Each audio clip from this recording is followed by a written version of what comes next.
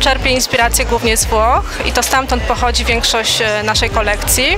Oczywiście dopasowujemy je do potrzeb naszych e, klientów.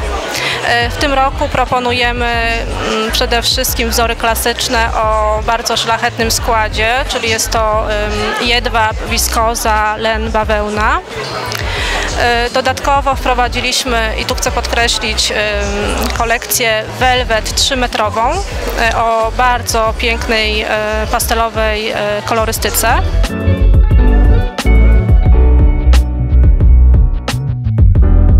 Targi dzięki swojej specyfice e, po pierwsze przyciągają specjalistów z branży, ponieważ to jedyna w Polsce impreza, która poświęcona jest w całości wyłącznie tekstyliom domowym, e, ponieważ organizowana jest dwa razy w roku, z tym za każdym razem prezentuje to, co będzie aktualne w danym sezonie.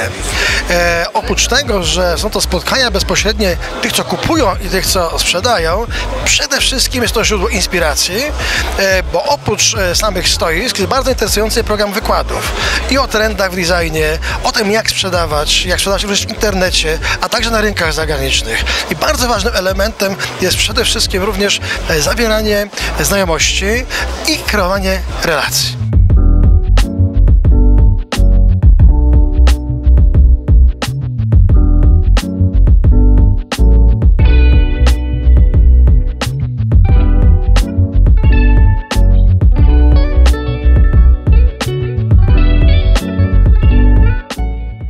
Co jest najważniejsze w projektowaniu hoteli? coś, co funkcjonuje zawsze, czyli musimy wiedzieć, e, gdzie jest ten hotel usytuowany i dla kogo on jest zaprojektowany. I to jest najważniejsza kwestia, jeśli chodzi o, e, o trendy, e, które funkcjonują zawsze.